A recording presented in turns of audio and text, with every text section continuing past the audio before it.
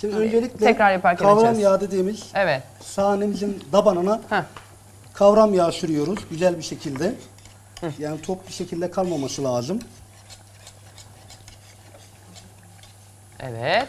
Onun sonrasında pirinç Pirincimizi. haşlanmış pirinç tabi. Pirinci haşlarken kemik suyu falan kullanmıyorsunuz. Hayır normal. hayır kesinlikle kendi çok doğalında. hafif. Hafif Çok yani. Yani yağ zaten oradan kemik suyundan Tabii. geliyor. Alacak zaten bu orada şekilde yeterince. pirincimizi bıraktık tabi.